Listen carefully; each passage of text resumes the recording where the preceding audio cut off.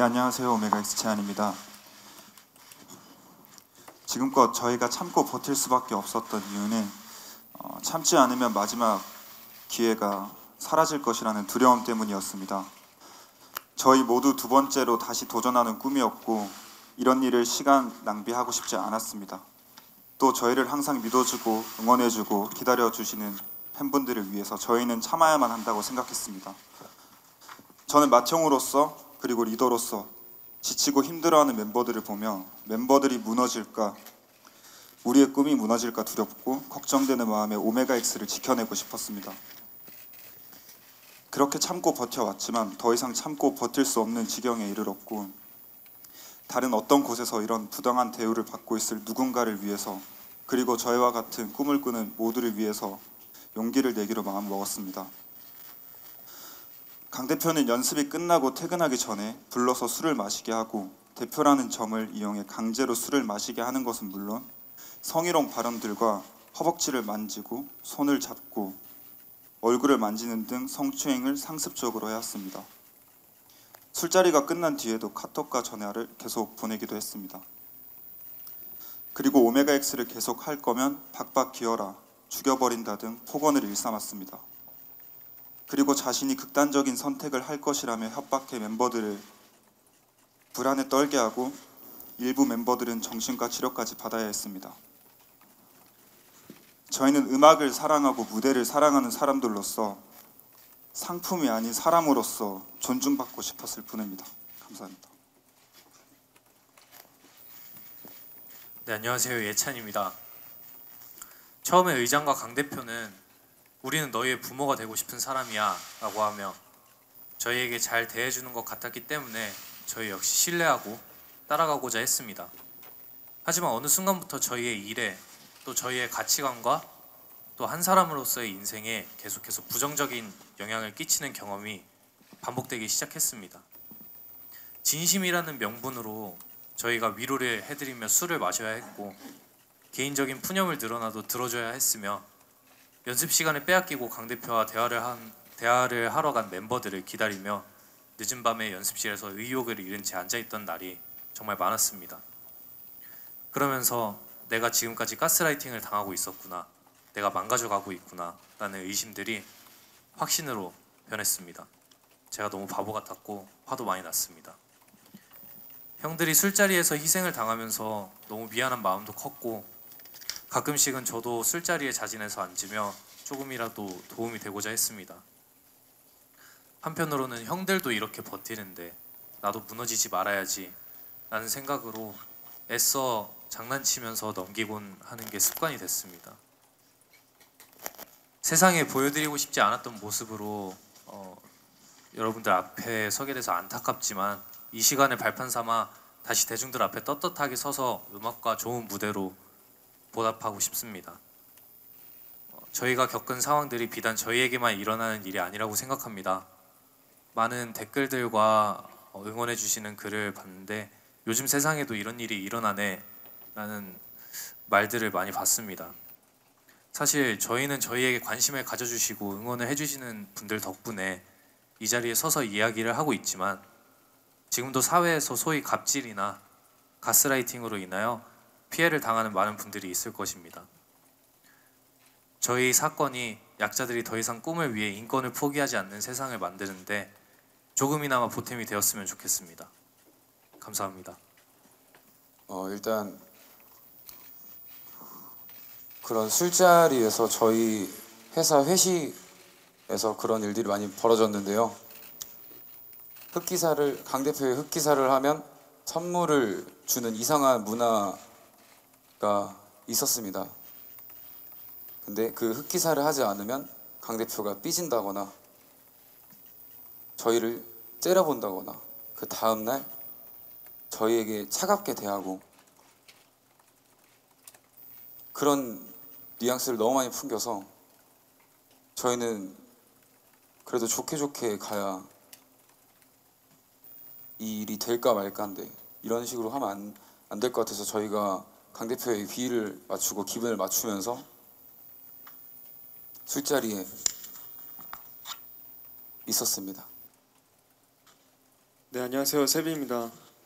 한겸이의 말에 덧붙여 얘기하면은 술자리를 거부하면은 다음 앨범은 없다 이렇게 말씀하셨습니다. 민감한 성추행 부분에 대해서는 대리인 답변 조금 드리도록 하겠습니다. 우선 성희롱 발언들도 어, 상, 수시로 일어났지만 신체적인 접촉, 예를 들어서 그 강제로 대표의 권위로 부른 술자리에서 허벅지를 만진다든지 자신의 얼굴을 멤버들의 얼굴에 가까이 갖다, 갖다 대서 어, 숨소리까지 들릴 정도로 가, 가까이 가져다 대는 그런 행위들을 했는데 이런 행위들은 우선 업무상 위력에 의한 추행에 충분히 성립될 사안이고 또 이런 행위를 만약에 여성이 당했다고 하면 누구나 중범죄로 받아들였을 것입니다. 그래서 저희 대리인단은 이제 그 추행 부분에 관해서도 형사 절차를 준비를 하고 있습니다. 어, 일단 저희 오메가X 11명 모두 다 두 번째 기회인 만큼 어, 팬분들께 해체라는 단어를 들려드리고 싶지 않아서 어, 스케줄 중간, 연습 중간 그리고 스케줄 일정이 다 끝난 후에 강 대표의 술 취한 그런 전화를 반복적으로 받으면서 네, 집에 들어가면 이제 좀 많이 불안해지고 전화가 올까봐 초조해지고 그런 날들이 많았습니다. 그래서 제가 정신과를 참다 참다가 네, 가서 지금 치료를 받고 있는 중이고요. 어, 지금도 사실 진동 소리와 또 핸드폰 알람 소리 그리고 진동 소리와 비슷한 음악 베이스 소리만 들어도 좀 불안함이 좀 많이 찾아와서 예, 일상생활에도 조금 지장이 있는 것 같습니다. 제가 좀 멘탈이 강한 사람이라고 생각을 했는데 어, 이번에 좀 저를 다시 예, 돌아보는 계기가 된 것 같고 강 대표와 단둘이 이야기를 하던 때가 있었습니다. 근데 그때는 정신과를 다니지 않고 있었고요. 강 대표의 그런 어, 계속되는 그런 이야기 자리에서 제가 감당하기가 좀 힘들었는지 숨이 안 쉬어져서 강 대표에게 숨이 안 쉬어진다고 얘기를 하니 송환경 공황장애 해서 10인 체제 기사 나가겠네? 이런 말을 듣고 제가 좀 충격을 받아서 그때부터 이제 저녁마다 강 대표가 했던 말들 나 너네 때문에 극단적인 선택할 거야 그러면 저희는 또 가해자가 될까봐 그런 두려움에 또 떨어야 됐었고 그런 두려움이 계속 지속이 돼 지금 정신과 치료 중입니다 그리고 이번 투어 이야기를 좀 하려고 하는데요 저희가 남미 투어를 시작해서 두 번째 날 멕시코 시티 지역에서 있었던 일입니다. 연이은 공연으로 그리고 거기가 고산지대라서 저희 오메가엑스 멤버 11명 포함해서 스태프분들까지 다 정상적인 컨디션이 아니었어요. 그래도 우리 멤버들끼리는 으쌰으쌰 해- 해가면서 팬분들 만나기 전에 텐션도 올리려고 했고 열심히 준비 중이었습니다. 팬 이벤트를 시작을 했는데 갑자기 강 대표가 들어오더니 팬 이벤트를 중단시켰습니다. 저희는 어떤 상황인지 모르고 강 대표 앞으로 가니 내가 이렇게 쓰러져 있는데 너넨 그냥 가? 그러면서 단톡을 보여줬습니다. 그 단톡은 황 의장, 강 대표, 매니저님 그리고 저희 11명이 있는 단톡방이었는데요. 거기에 황 회장의 톡을 보니 강 대표 쓰러졌는데 보는 인간 하나 없냐? 다 죽어라. 공연 그만해. 라는 톡이 있었습니다. 저희는 팬 이벤트를 하기 전에 강 대표가 의자에 앉아서 잠을 청하고 있는 모습으로 보여서 그 대기실 불도 꺼, 끄고 편하게 주무시라고 끄고 나왔습니다. 그리고 절, 어, 저희는 전혀 뭐 쓰러져 있다라는 그런 느낌을 받지 못했고요. 그 뒤로 강 대표가 계단으로 가더니 계단에서 갑자기 쓰러졌습니다. 저희는 체온 유지를 위해서 저희 겉옷을 벗어서 강 대표한테 덮어주고 목도 받쳐주고 그다음에 구급대원들이 와줘서 처리를 했습니다. 근데 그 감당 그 상황을 감당하기가 힘들었는지 그때부터 숨이 잘 안 쉬어지고 해서 그때 응급실에 가서 멕시코 시티 공연을 못하게 되었습니다. 어 일단 한겸이 형을 포함해서 많은 모든 멤버들이 어 불안감과 공황 증상을 보일 때도 있고 저 역시도 정신과 치료를 받고 있습니다. 그리고 모든 멤버들이 하이톤의 여성분의 목소리만 들으면 흠칫흠칫 놀랄 정도로 어 다들 많은 불안감을 갖고 있습니다.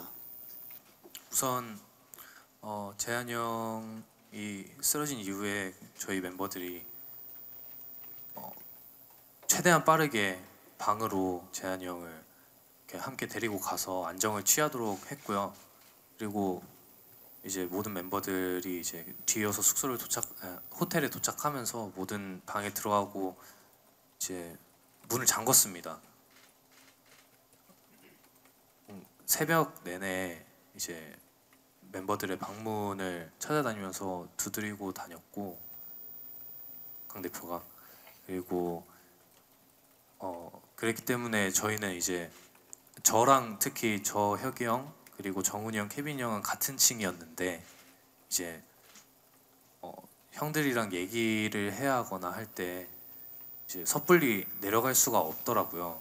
그래서 그렇게 이제 답답한 시간을 보내다가 처음에 저희가 그 식당 일 바로 직후에 다음 날인 22일, 23일에 이제 한국행 비행기를 탔어야 되는데 일방적으로 취소를 시키셨습니다.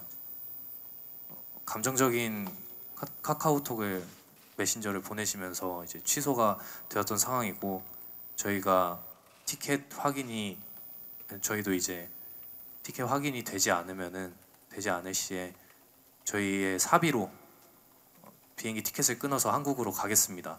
라고 전달을 해드렸고 곧바로 알아서 해라 라는 문자가 왔기에 저희는 바로 부모님들께 금전적인 도움을 요청해서 한국행 비행기를 타고 한국으로 왔습니다.